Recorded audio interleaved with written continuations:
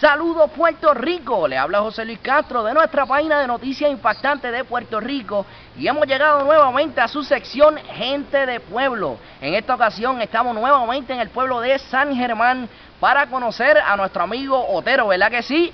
Quien posee al Herbie Borigua, así que vamos a conocerlo. Echa para acá, saludos. Muchas gracias, gracias por acceder a nuestra entrevista. ¿Qué lo hace ser usted una persona de pueblo? Bueno, yo sí he sido residente de San Germán por mucho tiempo, trabajé en una empresa privada por 30 años y soy de pueblo.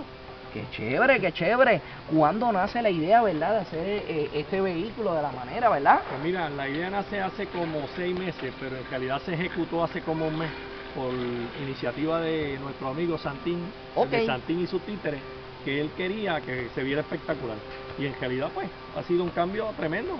Ese es el Helvi Boricua. Qué chévere. Me dice que pronto tiene ahí seteado cuando llega a las exhibiciones, ¿verdad? Con la música y todo. Con la música de Helvi, el Helvi Boricua. Así que vamos, vamos a darle un recorrido, una toma para que ustedes lo vean. Vamos a verlo.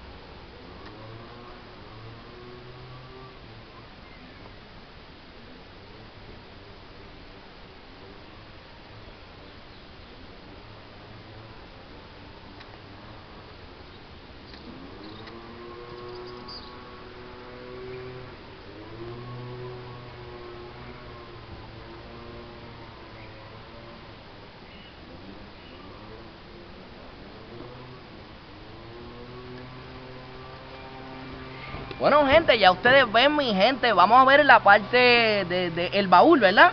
El baúl. Vamos a ver.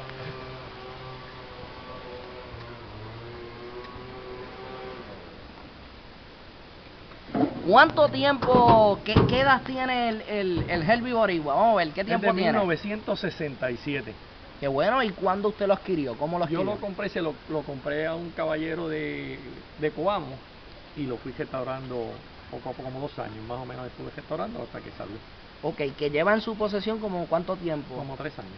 Wow, así que ya ustedes saben, Puerto Rico, aquí está su Herbie Borigua. Así que mi gente, gracias por acceder a nuestra entrevista, ¿verdad que sí? Gracias por estar con nosotros aquí en San Germán. Ya ustedes saben, gente de pueblo.